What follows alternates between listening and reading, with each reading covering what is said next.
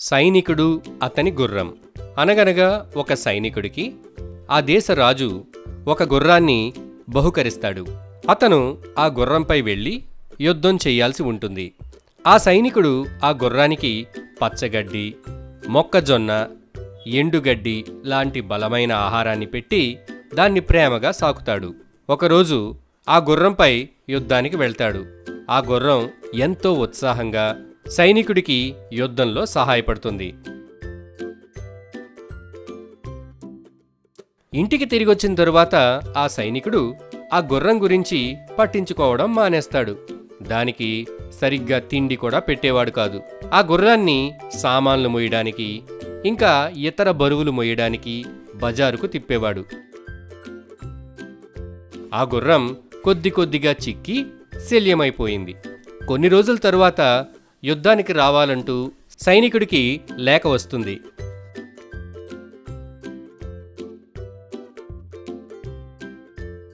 ఆ సైనికుడు ఎంతో ఉత్సాహంతో యుద్ధానికి సిద్ధమయ్యి ఆ గుర్రాన్ని ఎక్కబోతాడు.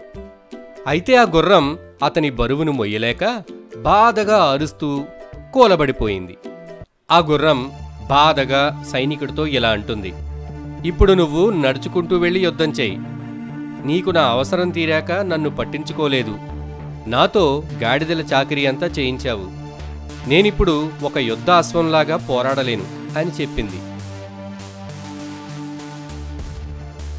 గుర్రం మాటలకు అవాక్కైన సైనికుడు తేరుకుని తన తప్పును తెలుసుకున్నాడు.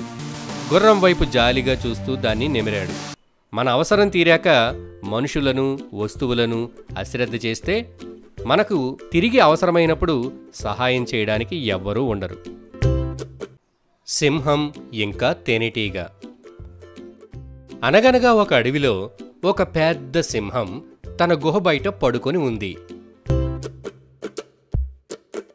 ఇంతలో ఒక తేనెటీగ ఆ సింహం చుట్టూ జూమ్ జూమ్ అని తిరుగుతూ దాన్ని బాగా ఇబ్బంది పెట్టసాగింది. సింహానికి బాగా కోపం వచ్చి గట్టిగా గాండ్రించింది. ఆ తేనెటీగ నవ్వుతూ నేనేమీ నీకు భయపడ్ను. నువ్వు ఈ అడవికి రాజువై ఉండొచ్చు.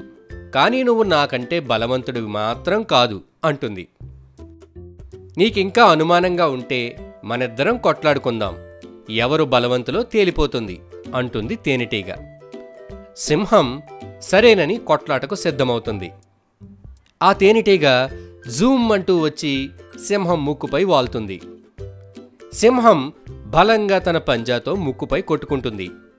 తేనెటీగ ఎగిరిపోయి సింహం గాయపడుతుంది. సింహం తన ఓటమిని ఒప్పుకుంటుంది.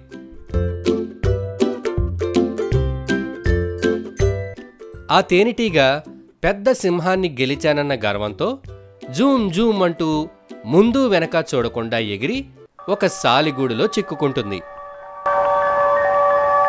తనకంటే చిన్నదైన ఒక చిన్న సాలిపురుగొచ్చి ఆ తేనెటీగను చంపి తినేస్తుంది. ఈ కథలో నీతేంటంటే గర్వంతో అహంకారంతో వెర్రవీగితే ఏదో ఒకరోజు చిక్కుల్లో కూరుకుపోవడం ఖాయం.